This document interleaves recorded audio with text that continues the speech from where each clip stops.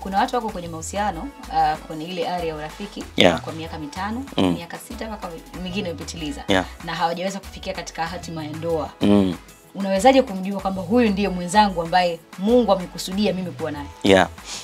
Uh, ni swali liko tricky kidogo. Binafsi yangu huwa siamini katika muda hasa wa kumfahamu mtu. Najua kama Mungu ameruhusu mtu awe na huyo mtu, Mungu mwenyewe atamthibitishia. Mungu ana njia nyingi za kusema kwamba huyu mtu ni sahihi.